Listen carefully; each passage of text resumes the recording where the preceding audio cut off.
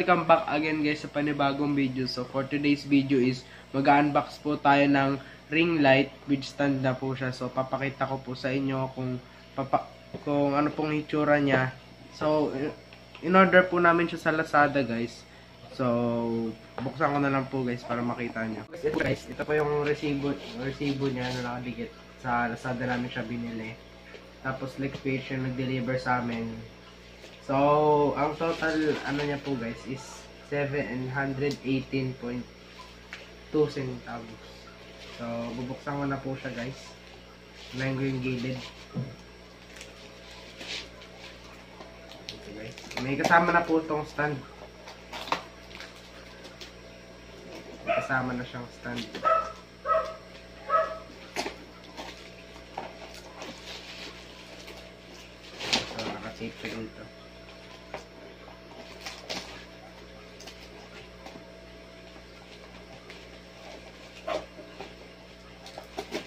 Tanggalin mo natin yung tape.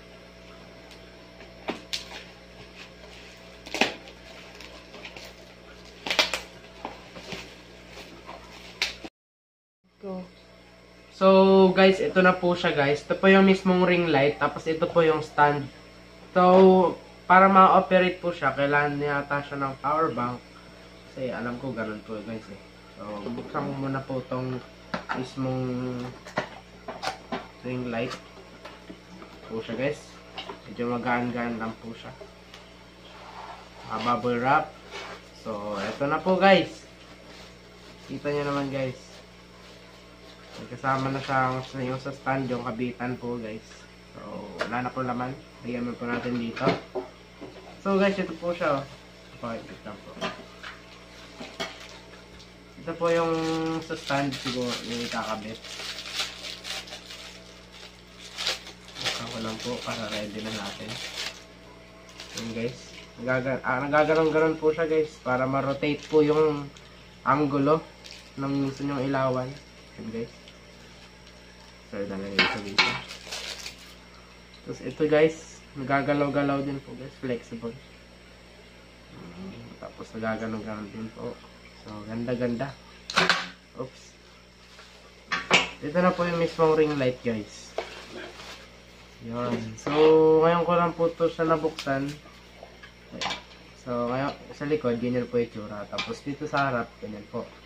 So, medyo rough po siya konti. So, subukan muna natin siguro kung iilaw to. Subukan ko muna guys, gamit ang ating power bank.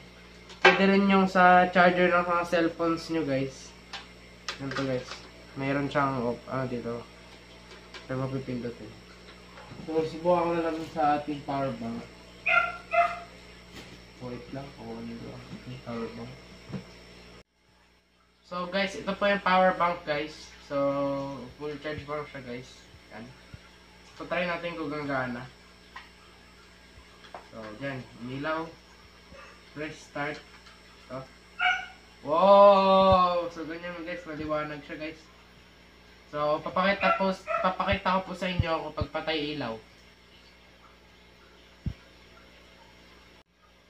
So guys, ito na po siya guys. So, maliwanag po, kitang-kita nyo, madilim, pinatay po namin yung ilaw.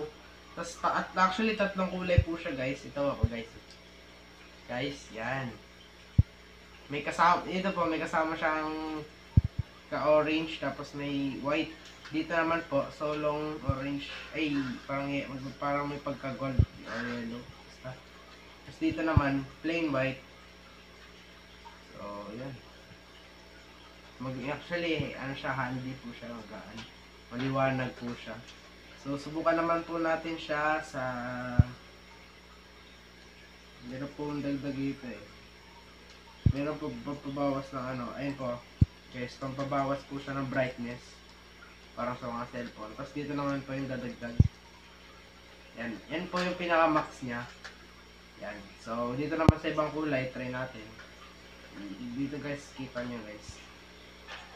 So, hopefully makita nyo. May button dito. So, subukan naman natin dito. Ang itsura. Kung ganyan ang itsura niya guys. Depende sa gusto nyo kulay. O sa liwanag na gusto nyo. So, each color. Dito naman, pag medyo mag, ito, nakamax na siya guys. Ito po yung low niya. Yun po. Para hindi po masyado maliwanag. Dito naman yung sakto, tapos dito yung malapit na sa ano. Na po yung max. So, bubuksan na po natin ulit yung ating ilaw. So, papatayin po natin ito.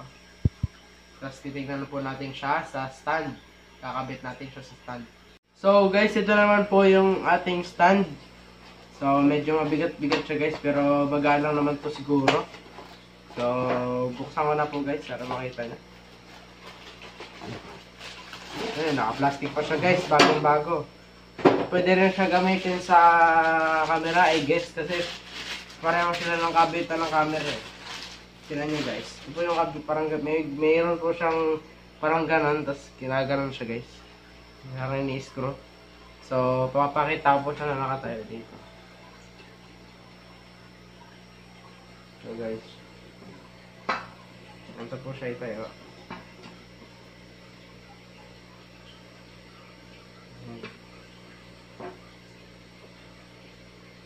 Ayan siya guys. Tapos, ganito siya, ano, i-extend.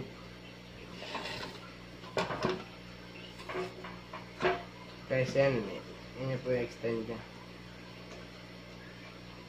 So, i-ano nyo po dito.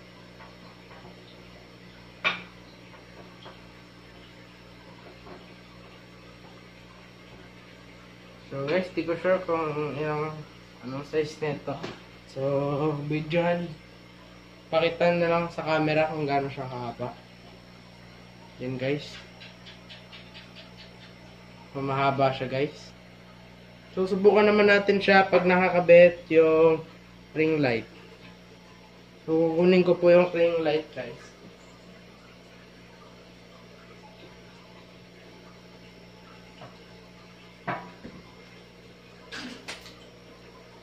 So, ito po yung ring light. Ano ba to? Wait.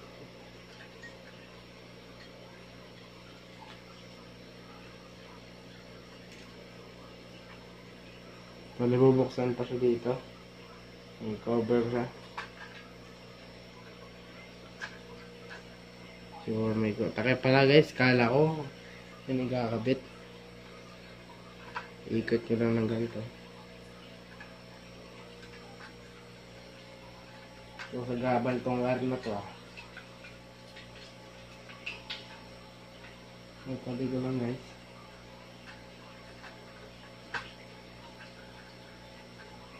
Mo- ilang inch na to ah?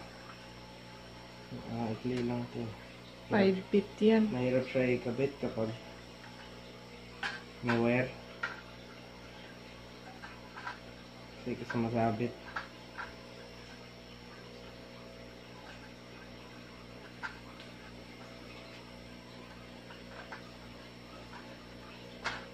So medyo matagal siya guys para mahigpit.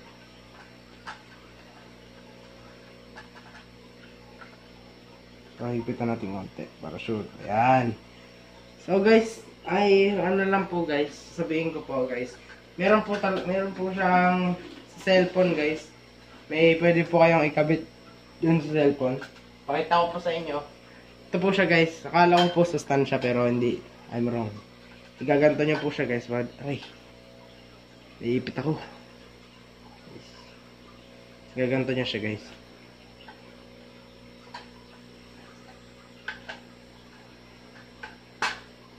So, mabangga. Ibaba pa natin. Bumabangga pa rin.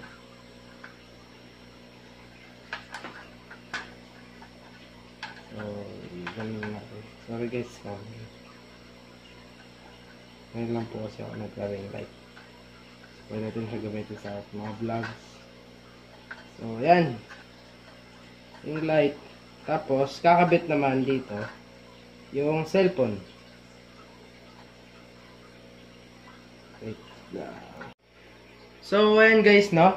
Ito po yung papakita ko muna harap likod sa inyo. So, ayan. Ingitan tayo. Ayan guys. Harap likod. electrical dyan guys. So, bubuksan ko naman guys gamit tong ating power bank, no? So, ganito magiging itsura niya. Pag may cellphone. Yan. So, try naman natin na Yan.